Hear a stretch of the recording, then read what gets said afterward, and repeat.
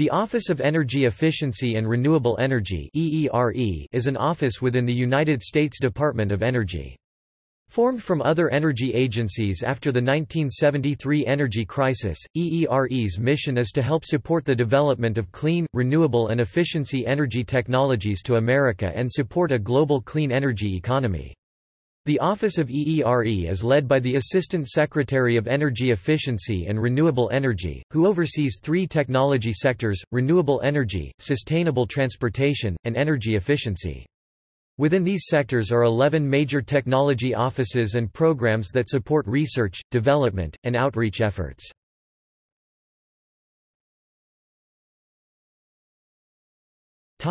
History EERE has been established from several previous agencies within the United States executive branch following the 1973 energy crisis.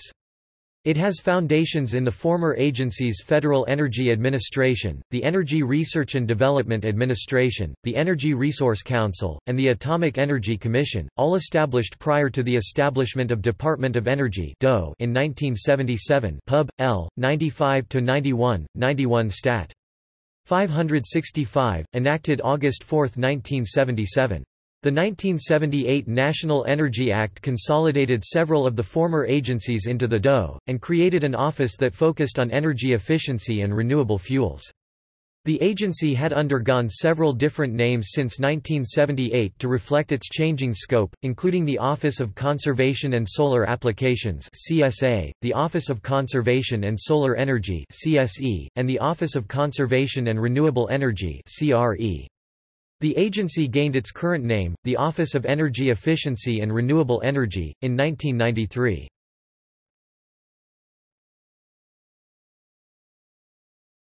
Topic: Management and organization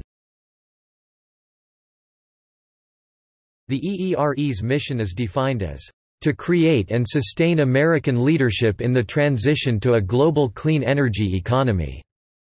The office also develops initiatives to advance specific technologies. The Office of EERE is led by the Assistant Secretary of Energy Efficiency and Renewable Energy, who is appointed by the President and confirmed by the U.S. Senate. The current acting assistant secretary is Steve Chalk. Additionally, EERE oversees the management and operation of the National Renewable Energy Laboratory and provides funding to 12 of the U.S. Department of Energy's national laboratories. Argonne National Laboratory. Brookhaven National Laboratory. Idaho National Laboratory. Lawrence Berkeley National Laboratory Lawrence Livermore National Laboratory Los Alamos National Laboratory National Energy Technology Laboratory National Renewable Energy Laboratory Oak Ridge National Laboratory Pacific Northwest National Laboratory Sandia National Laboratories Savannah River National Laboratory.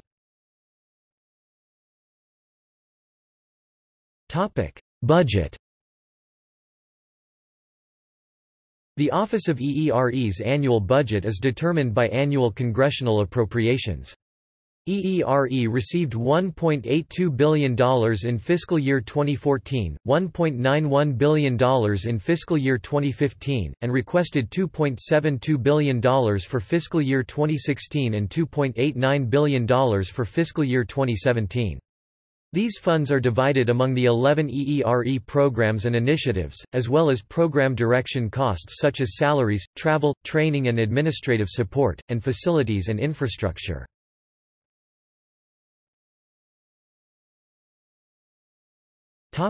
Organizational structure EERE is divided into three main technology sectors Sustainable transportation, renewable energy, and energy efficiency that are made up of 11 different technology offices. In addition, it includes corporate support functions and offices. These supporting offices include Office of Strategic Programs Office of Business Operations Golden Field Office Office of Financial Management Topic Sustainable transportation sector The Vehicle Technologies Office supports the research, development, and deployment of efficient transportation technologies. It supports technologies such as plug-in electric vehicles, batteries, electric drive technologies, advanced combustion engines, lightweight materials, and alternative fuels, including natural gas and propane. The Bioenergy Technologies Office supports research, development, and deployment projects for advanced biofuels. The Fuel Cell Technologies Office conducts research, development, and deployment in hydrogen and fuel cell technologies.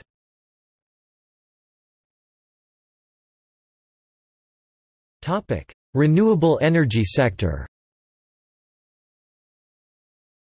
The Solar Energy Technologies Office, also known as the Sunshot Initiative, funds cooperative research, development, demonstration, and deployment projects by private companies, universities, state and local governments, non-profit organizations, and national laboratories.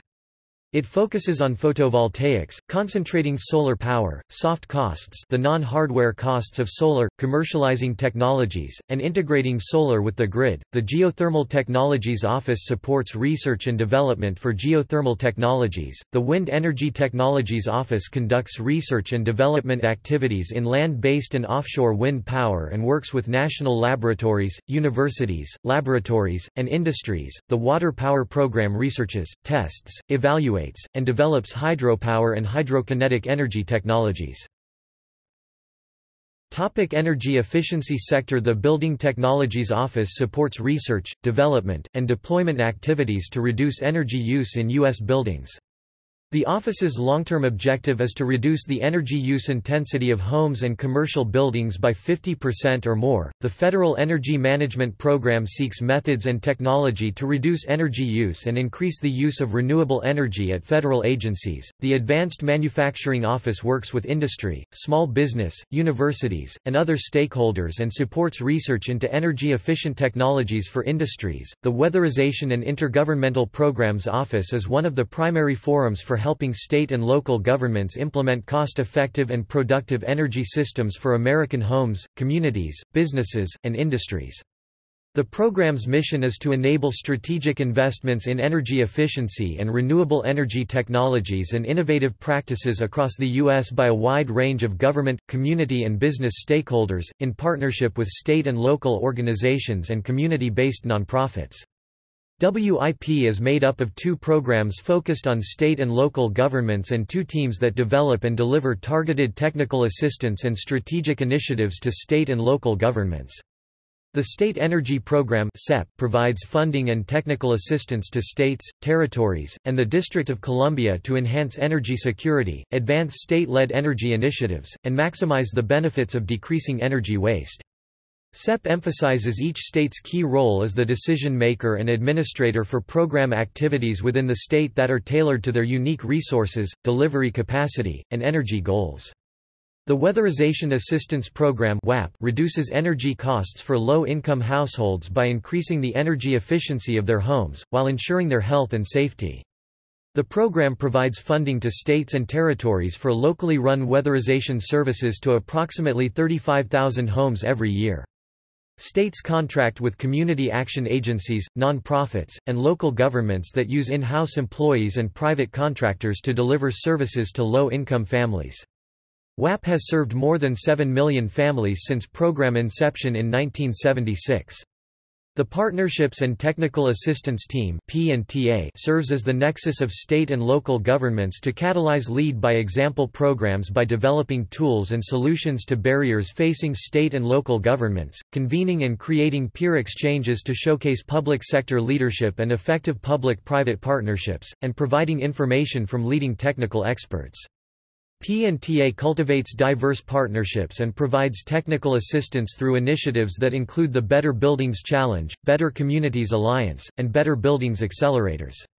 The Strategic and Interagency Initiatives team leads inter-organizational initiatives that provide states and local governments technical assistance to help underserved communities have access to more energy choices. Does Clean Energy for Low-Income Communities Accelerator and Remote Alaskan Communities Energy Efficiency Competition initiatives demonstrate replicable, scalable models that address barriers to energy efficiency and renewable energy access in low and moderate income communities.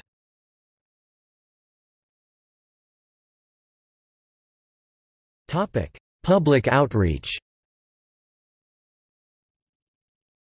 EERE manages the Energy Saver website that promotes energy-efficient technologies for heating, cooling, and weatherizing buildings and lists tips for saving electricity and fuel. The Office of EERE sponsors several activities aimed at public outreach and engagement in energy efficiency and renewable energy technologies.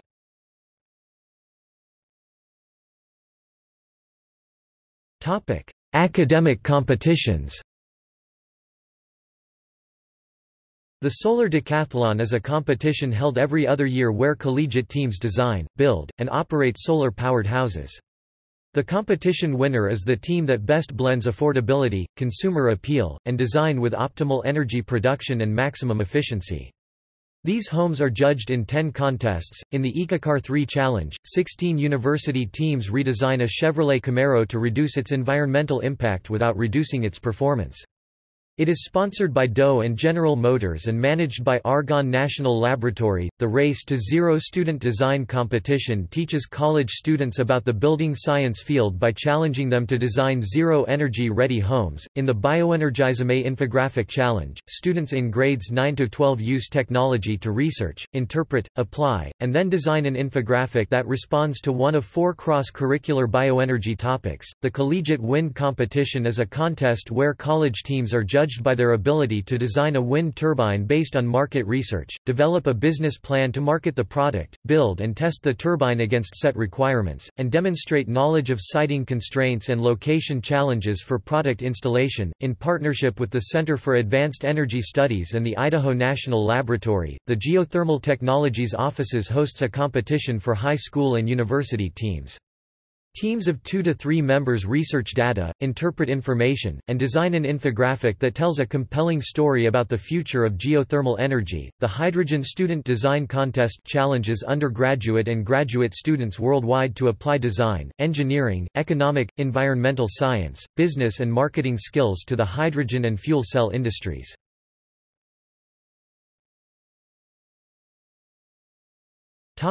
Other competitions In the Georgetown University Energy Prize competition, cities and counties with populations between 5,000 and 250,000 compete for a multi-year $5 million prize for demonstrating energy use reduction over a two-year period. The Cleantech University Prize provides competitive funding for business development and commercialization training to clean energy entrepreneurs. The Wave Energy Prize is aims to increase the number of organizations involved in wave energy converter technology development. In 2016, 92 registered teams competed not only for the $1.5 million prize, but for opportunities at seed funding and access to testing facilities, experts in the field, and an online marketplace that connected teams, investors, and contributors.